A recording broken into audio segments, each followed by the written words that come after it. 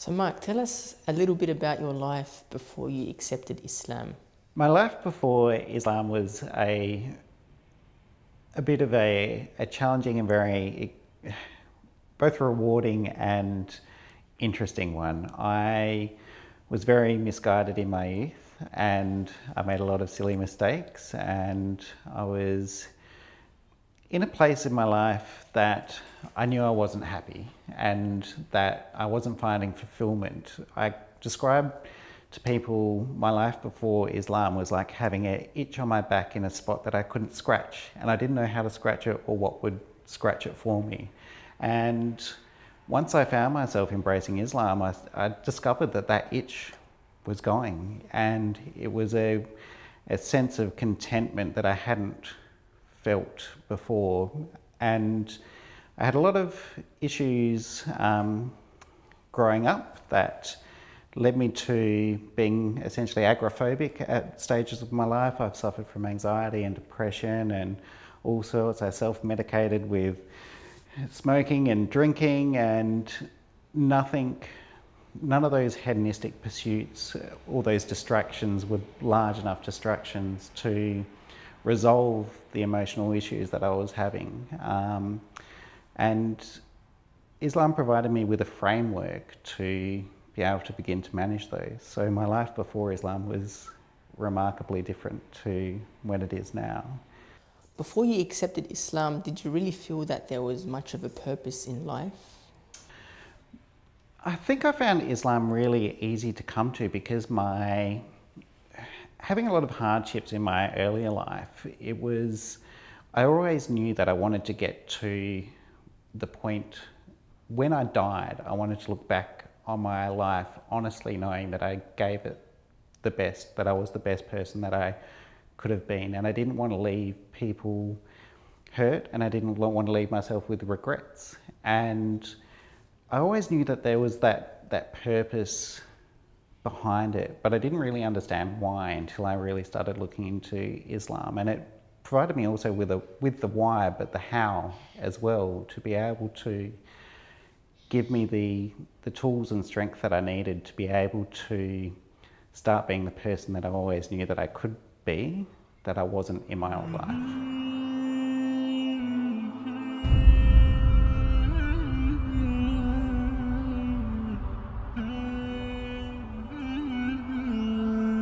Stumbled across Islam um, by running into a, an old school friend of mine who we'd known each other 15 years ago and we kind of lost contact. But um, this friend used to run the Introduction to Islam course at the Islamic Information Centre of South Australia. And so at that time, I'd already begun reading the Quran. I'd actually started reading it for the second time because I was trying to get my head around it. Um, I'm very aware of global politics and so I was wanting to get my head around what is this what is this faith and so I have plenty of questions for Ahmed and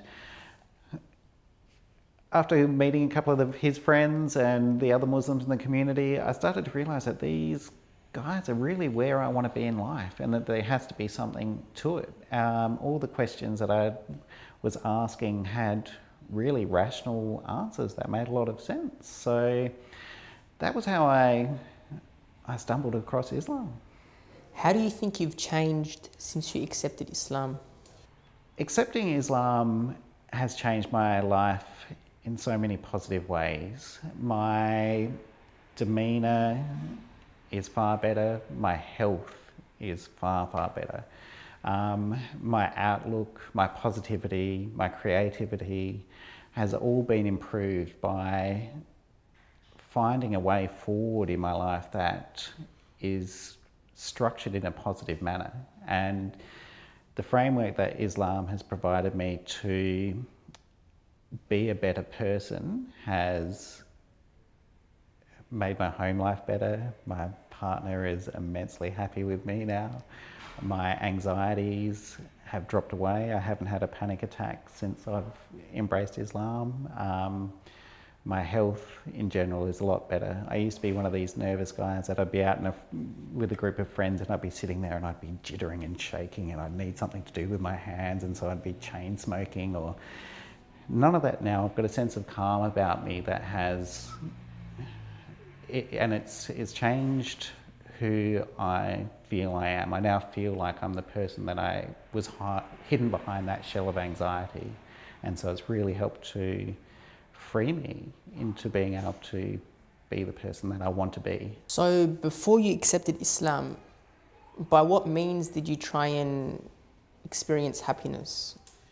Trying to fill the gap of happiness before Islam was really just pursuing hedonistic pursuits and distractions. Um, I would spend a lot of my time just on Facebook concerning myself with things that aren't really relevant to to my life or my happiness. Um, drinking with friends, all of those types of um, yeah, just distractions that were just there passing the time that weren't really benefiting me in any shape forwards. I had many hangovers, many headaches, um, and all of the problems that were associated with running from dealing with my issues in life. And so my the happiness um, that I was experiencing was all very temporary happiness, happiness through food, happiness through alcohol, happiness through distracting myself, movies, all of those types of things. I think trying to achieve true inner peace and happiness is a lifelong pursuit. I think what Islam has given me is is an understanding that that's okay and that doing the best that I can do and always moving forwards is, provides enough happiness for me to and enough lasting happiness to for, and hope that by the time I I'm chosen to leave this world that I, I can experience that that lasting and eternal happiness. What feeling do you experience when you make salah? The very first time I made salah was during Ramadan. I just said my shahada at Al Khalil Mosque. Um, Ahmed Basil witnessed that with me, and it was during the Taraweeh prayer, and I had no clue about what I was doing, what I was, what all of it was about. I went through the motions, but the emotion that I felt at the time was just fantastic, knowing that everybody was there, all submitted, all to the same path, was such a powerful feeling for me. And I felt a sense of community that I hadn't been able to get from anywhere else. Now, prayer and salah for me is liberating it is my management tool for my anxieties. And by breaking my day down into, into distinct sections and being able to reflect on what have I done, what could have I done, done better, and what am I going to do for the next section of my day, has provided me with a with the ability to manage my emotions, manage my happiness, and the humility that I feel in Salah makes me puts it all into context as well. That there is far bigger and greater out there than me, and having that humbling feeling multiple times a day is is really liberating. It, it helps to liberate me from my anxieties. Tell us about how you took your Shahada, your declaration of faith, when you actually accepted Islam.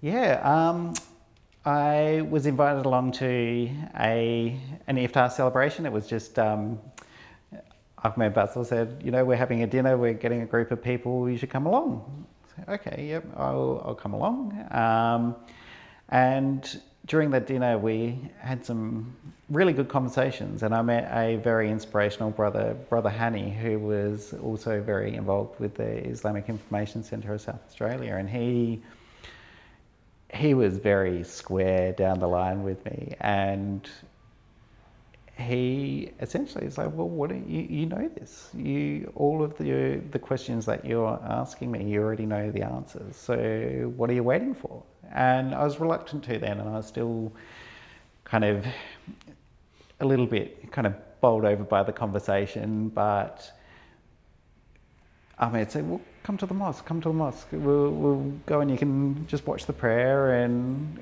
and so by the time we'd driven there and I'd let the conversations of the evenings sink in and I'd process those and kind of reflected back on everything that I'd learned, all the questions that I'd asked. And by the time we got to the masjid, it was really, I felt ready. And so it was in the continuation of that, that kind of processing that up and said, well, you know, are you ready? We can do this now. It's like, well, and it felt right. You know, the it was at the masjid, it was with the community, and it was a really beautiful experience. After the prayer had wrapped up between, so it was um, kind of just after Isha, and Ahmed announced it to the community, and every the celebration was quite amazing. It was really lovely. Just to be embraced so firmly by the community was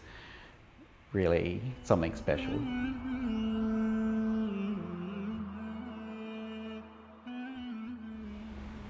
As days go by, do you feel that your love for Islam begins to grow more and more? Yeah, my my love and appreciation and humility grows every day because it is something that the more you understand, the more the more you realize how how deep the faith is and how much it it does resonate with your soul. And from someone who came from a very atheist background that questioned the very existence of a soul, to now have something within me that a sense of quiet and around something that I rejected for so many years, it it strengthens my faith every time I look back at it. And even on those days where you feel like your faith is weakening a bit, it doesn't Allah doesn't let that go on for too long. There, there's always a reminder, and then and every time you the, you hit with one of those reminders, your faith is strengthened, and you you you learn from it and it makes those those times less frequent. And it's it is it's a it's an amazing journey that gets deeper the further you go. You realize how how much further you can go with it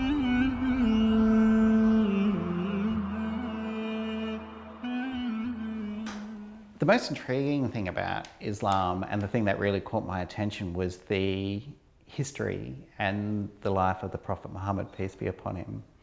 And it was learning about the, the lives, the times, the social changes that he managed to affect with such limited resources around him was something that really spurred on a lot of interest for me. And I wanted to, I, I, thought I could get my head around Islam by reading the Quran, which was very naive of me to think that I could do that without understanding the context of the Quran. So it was after, after failing in reading the Quran once and coming away with a, with a few parables that I could make sense of, and that's about it. Um, as soon as I started looking into the history, that was the real catch point for me. That I realized, wow, there's the the history behind it, the context of the Quran, why the message was sent when it was, and how it was, is miraculous. Um, and I guess it was the, I guess the the subsequent. Um, cultural shockwaves that it sent through history that really I find fascinating how how long and far the reach has been and why why it hasn't faded was essentially what tipped me over the line with my belief. What advice would you have to those that are looking into Islam? The advice that I'd give to people looking into Islam for the first time is to don't just read about it and watch YouTube videos. Go and find somebody in the community that you can talk to about this. There are a lot of friendly people in the community that are more than happy to offer up their experience as a Muslim living in Australia. And it's really important to, to get to know it from, from others that are practicing it because without actually understanding how the life of a Muslim is lived, you're not going to be able to understand Islam. And there's a lot of information out there that is very skewed, very biased. The, the, it, it's better to find out from somebody in your community.